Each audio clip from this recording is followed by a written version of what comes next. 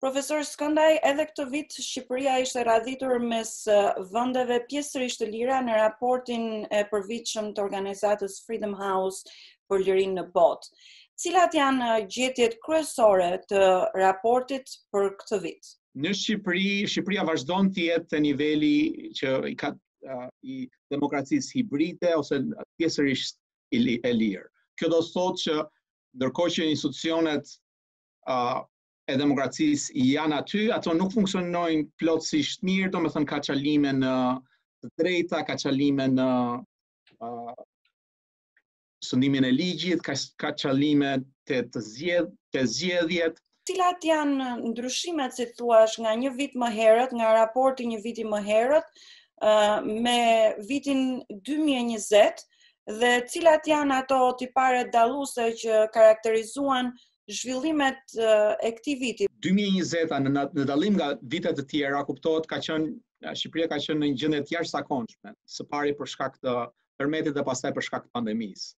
Dhe në një farë mënyre për të mbrojtur lirinë e jetës, të drejtën e jetës qeveria mori masa të, të caktuara të cilat kufizuan, si shumë vende të tjera kufizuan uh, të drejta dhe liri të caktuara, sidomos uh, të drejtën për t'u grumbulluar. Gjithashtu kaloi ligje dhe dhe vendosi penalitete për njerëzit që nuk vërenin mirë rregullat e karantinës. Gjithashtu në mars 2020 në Shqipëri Bashkimi Evropian hapi negociatat me Shqipërinë. Kjo kjo shikohet si si si progres.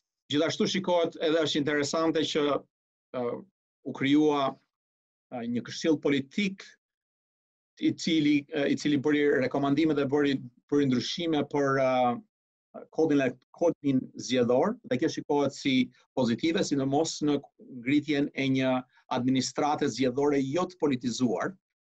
Nga ana tjetër shikohet si problem që parlamenti votoi për këtë gjë në 6 tetor, ë uh, mbi amendamente të caktuara për uh, kodin zgjedhor pa praninë e, e opozitës.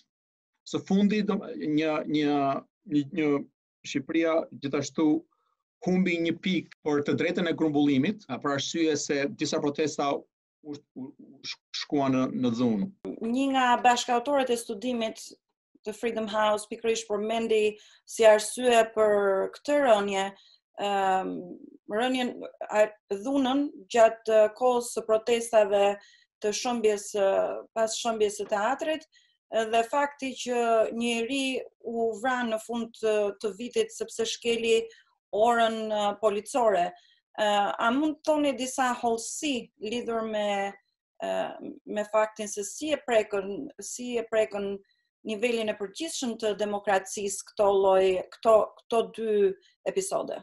Momentin që njerëzit kanë frikë për të dalë të protestuar apo për të grumbulluar, sepse uh, disa nga protestuesit mund të ushtrojnë dhunë ose ose policia ushtron dhunë ndaj protestuesve, atëherë kjo ndikon në në në rënie të lirive demokratike në këtë sistem. Sepse në një farë mënyrë atëherë qytetarët do thonë që do do të do jetë më e vështirë për të dalë protestuar. Dhe cilat janë disa nga çështjet që uh, vazhdojnë të dalin pra për sa i takon kategorive të ndryshme që mat Freedom House kur kur llogarit nivelin e demokracisë dhe të lirisë në raportin e saj të përvitshëm. Shqipëria vazhdimisht del që uh, zgjedhjet bëhen në mënyrë periodike, uh, po shpesh herë ka probleme një me kodin zgjedhor, me zbatimin e kodit zgjedhor, o, si edhe me pranimin e zgjedhjeve. Domethënë ka vazhdim vazhdimisht të kontestimit të përfundimit të zgjedhjeve pasi bëhen. Nga ana tjetër, uh, një një pikë që ka qenë gjithmonë që çalonte, domethënë atëherë është uh, sundimi i ligjit dhe gjykatat dhe korrupsioni.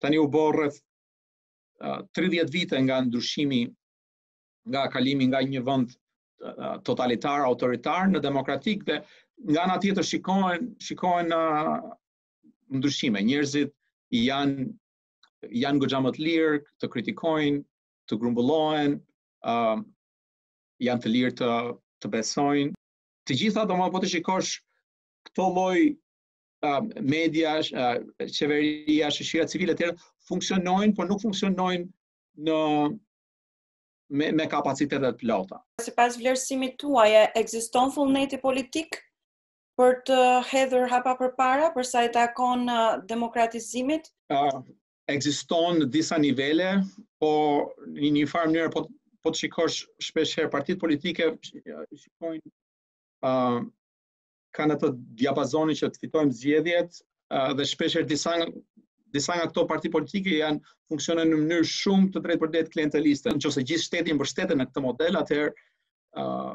ke vetëm njerëz partiakë dhe nuk janë nuk, shpesh herë nuk ka njerëz uh, profesionistë.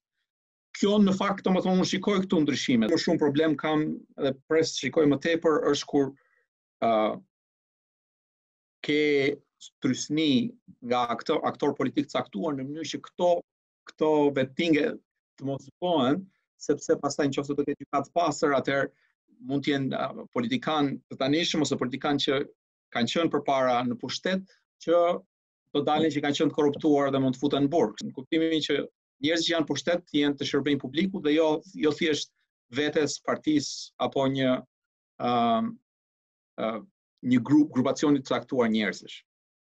Ju faleminderit profesor Skëndaj. Faleminderit dhe ju.